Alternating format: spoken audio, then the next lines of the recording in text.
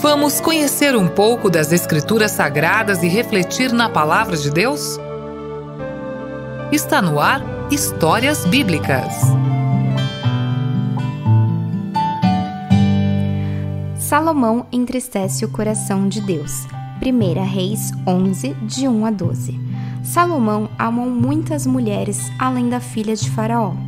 Cada uma delas era de uma nação diferente e com isso, elas fizeram com que Salomão se desviasse dos caminhos do Senhor.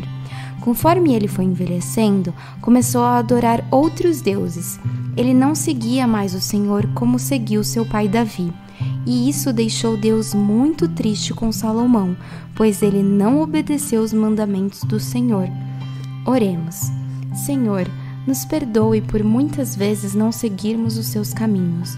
Nos ajude a seguir sempre os teus passos, Deus. Em nome de Jesus. Amém.